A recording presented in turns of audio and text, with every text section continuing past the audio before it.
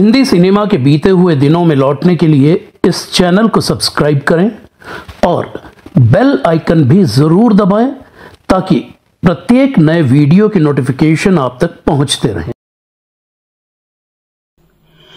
नमस्कार, मैं शिशिर कृष्ण शर्मा, स्विट्जरलैंड में जेनेवा लेक के किनारे शिलोंग कैसल से बीते हुए दिन में आपका स्वागत करता हूँ। आज बात मुबारक बेगम की। बीते दौर की वो जानी मानी पार्श्व गायिका जिन्होंने नाम तो खूब कमाया, लेकिन जिनकी तमाम ज़िंदगी अपने और अपने परिवार की बुनियादी जरूरतों को पूरा करने की जद्दोजहद और बदहाली में ही गुजर गई थी। मुबारक बेगम का आखिरी गाना साल 1980 में रिलीज़ हुआ था, और अब वो पिछले करीब ढाई दशकों से दक्षिण मुंबई के अपने घर में गुमनामी की ज़िंदगी जी रही उन तक पहुँचने के लिए मुझे बहुत जद्दोजहद करनी पड़ी। न तो किसी के पास उनका फ़ोन नंबर था और न ही पता ठिकाना। हिंदी सिनेमा से जुड़ी एसोसिएशनों से जानकारी हासिल करने की मेरी तमाम कोशिशें भी नाकाम हो गई थी। अचानक ही एक रोज पता चला कि वो लेमिंगटन रोड पर कांग्रेस हाउस के पास कहीं रहती हैं। अक्टूबर 2003 के आखिरी हफ़्ते में मैं आधा अधूरा सा पता लेकर मुबारक बेगम को ढूँढने निकला। लेमिंगटन रोड पर कांग्रेस हाउस वाली गली में एक पान वाले से पूछा तो उसने अपने पीछे खड़ी खंडहर नुमा इमारत की तरफ़ इशारा कर दिया। मुबारक बेगम, नूर मोहम्मद, बेग मोहम्मद बिल्डिंग नाम की सौ सवा सौ साल पुरानी उस इमारत की दूसरी मंजिल पर रहती थी। लेमिंगटन रोड से महज सौ गज के उस फासले को तय करना मेरे लिए आसान नहीं था। उस गली के दोनों तरफ़ की इमारतों की खिड़की दरवाजों से झांकते, लिपे पुते चेहरों और अधनंगे जिस्मों के भद्दे इशारों को देख देख कर और पुलिस की छापेमारी में शरीफजादों की थर पकड़ के पढ़े सुने हिस्सों को याद कर करके मेरे मन में खौफ पैदा हो गया था। वो मुंबई का बदनाम इलाका था। उस खौफ को मन में दबाए किसी तरह मैं मुबारक बेगम के दरवाजे पर पहुँच ही गया। महज दस बाय आठ फुट के एक छोटे से कमरे में मुबारक बेगम मुझे मिल ही गई। मीडिया से उनका भरोसा पूरी तरह उठ चुका था। उनका कहना था, मेरे हालात को समझने की कोशिश कभी भी किसी ने नहीं की। लेकिन मैं कैसी जगह रहती हूँ, किस हाल में रहती हूँ, इस बात को सबने उछाला और जमकर मेरा मज़ाक उड़ाया। उनका भरोसा हासिल करने में मुझे खासी मशक्कत करनी पड़ी। मुबारक बेगम के दादा परदादा राजस्थान के नवलगढ़ के रहने वाले थे और माँ झुंझुनू की थी। मुबारक बेगम का कहना था, मेरा जन्म मेरी ननिहाल में हुआ। कब हुआ, किस रोज हुआ, ये मुझे नहीं पता। मैं पढ़ लिख इसलिए नहीं पाई क्योंकि माँ बाप सोचते थे कि पढ़ी लिखी लड़की कहीं खतो किताबत करके घर से न भाग जाए। मेरे दादा अहमदाबाद में चाय की दुकान चलाते थे।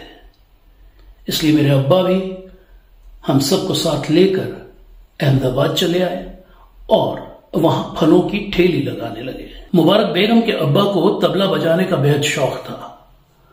उनकी लगन देखकर उस्ताद थिरकवा खां साहब ने उन्हें अपना शागिर्द कबूल कर लिया था। 1940 के दशक की शुरुआत में वो परिवार को साथ लेकर मुंबई चले आए अब्बा के संगीत प्रेम का असर मुबारक बेगम पर भी दिखने लगा था और बेटी को सुरों में गाता देख अब्बा ने उन्हें गायन की तालीम दिलानी शुरू कर दी थी। कुछ ही वक्त बाद मुबारक बेगम रेडियो पर भी गाने लगी थी। मुबारक बेगम को रेडियो पर गाता सुनकर उस जमाने के मशहूर संगीतकार रफीक गजनवी ने उन्हें अपने किसी फ़िल्म में गाने के लिए बुलाया। लेकिन स्टूडियो में लोगों की भीड़ देखकर मुबारक बेगम घबरा गई और गा ही नहीं पाई। ऐसा ही कुछ साल 1950 की फ़िल्म भाई बहन के वक्त भी हुआ। इस फ़िल्म के संगीतकार थे श्याम सुंदर। आखिर मुबारक बेगम को अपनी घबराहट पर, अपने डर पर काबू पाना ही पड़ा। मुबारक बेगम ने अपना पहला गीत फ़िल्म आइए के लिए रिकॉर्ड कराया था। यह फ़िल्म साल उन्नीस सौ उनचास में रिलीज़ हुई थी। इस फ़िल्म के प्रोड्यूसर डायरेक्टर थे उस जमाने के स्टार याहूब ये एक सोलो गीत था, जिसके बोल थे, मोहे आने लगी अंगड़ाई। गीतकार थे नक्शब और इस फ़िल्म के संगीतकार थे शौकत हैदरी देहलवी। जो आगे चलकर नाशाद के नाम से मशहूर हुए। 1950 के दशक में मुबारक बेगम ने हंसराज बहल के संगीत में, फ़िल्म फूलों के हार और जमाल सेन के संगीत में दायरा के करीब करीब सभी गीत गाए। इसके अलावा और भी कई फ़िल्मों में उन्होंने सोलो और डुएट्स गाए, जो अपने दौर में काफ़ी पसंद किए गए। मुबारक बेगम का करियर 1960 के दशक में भी अपनी ऊंचाइयों पर रहा।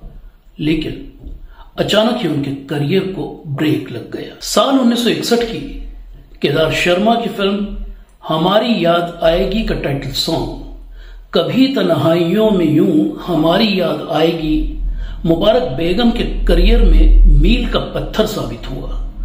पहले इस गीत को लता मंगेशकर गाने वाली थी, लेकिन अचानक ही हालात कुछ ऐसे बने कि ये गीत मुबारक बेगम की छोली में आ गिरा।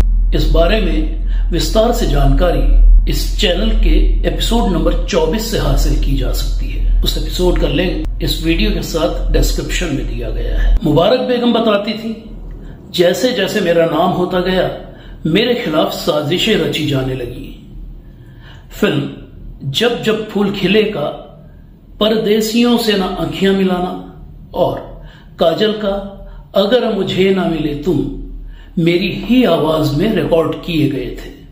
लेकिन, जब ये गीत मार्केट में आए तो मेरी आवाज़ उनमें से नदारत थी। एक रोज रेडियो पर मेरा इंटरव्यू आ रहा था। अचानक फ़ोन की घंटी बजी। दूसरी तरफ़ एक मशहूर पार्श्व गायिका थी। वो बोली, पहचाना हमें। अगर हमें तुमसे प्यार न होता तो हम तुम्हें कभी का इंडस्ट्री से आउट करवा देते। शायद वो भी उस वक्त मेरा इंटरव्यू सुन रही होंगी।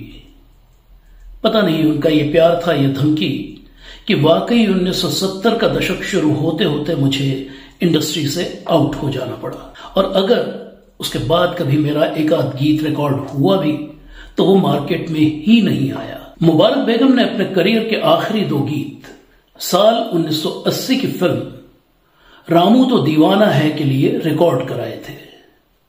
चंद्रू के संगीत में गाए वो दो गीत थे। आओ तुझे मैं प्यार करूँ और सांवरिया तेरी याद में रो रो मरेंगे हम। ये दोनों सोलो गीत थे।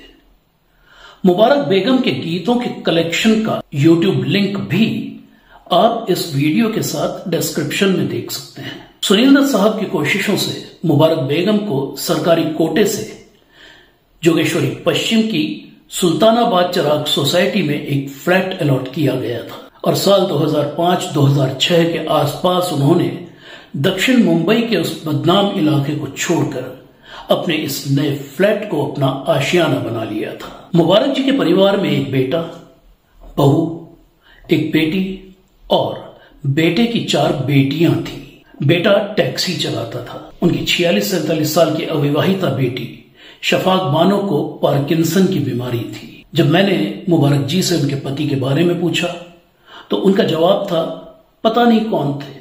अब तो नाम भी याद नहीं है। और उनकी ये बात सुनकर मुझे खामोश हो जाना पड़ा था। मुबारक जी से मेरा संपर्क लगातार बना हुआ था। और कभी कभार उनसे मिलने, जोगेश्वरी के उनके फ्लैट पर भी मेरा जाना आना होता रहता था। एक रोज बातों ही बातों में उनके पति का ज़िक्र छिड़ा। तो उन्होंने कहा था, तुम्हारे भाई थे वो, और मुझे असमंजस में पड़ा देखकर वो बोली थी, शर्मा थे वो भी। जगन्नाथ शर्मा, प्रोड्यूसर थे। साल उन्नीस सौ उनचास में बिरहा की रात बनाई थी उन्होंने, और फिर वो बोली, मेरा तो छोड़ो, लेकिन अपने बच्चों की तरफ़ भी पलट कर नहीं देखा उन्होंने। उस रोज मुझे उनकी आवाज़ में अथाह दर्द और चेहरे पर हिकारत नज़र आई थी। हालाँकि, उनके पति के बारे में मुझे बहुत पहले ही उनके जानने वालों से पता चल चुका था। ज़िंदगी के आखिरी सालों में मुबारक जी बीमार रहने लगी थी। आर्थराइटिस की वजह से उनका चलना फिरना भी बंद हो गया था। आर्थिक परेशानियों से तो वो ज़िंदगी भर घिरी ही रही। अक्टूबर 2015 में उनकी बेटी शफाक बानो गुजरी तो ये सदमा मुबारक जी बर्दाश्त नहीं कर पाई। और फिर 18 जुलाई 2016 को देर शाम वो भी इस दुनिया को अलविदा कह गई। तो ये थी कहानी। हिंदी सिनेमा के बीते दौर की जानी मानी पार्श्व गायिका मुबारक बेगम की।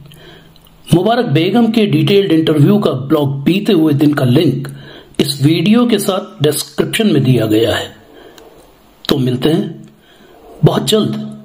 हिंदी सिनेमा की किसी और भूली बिसरी शख्सियत किसी भूली बिसरी दास्तान को लेकर। तब तक के लिए इजाज़त दीजिए। नमस्कार।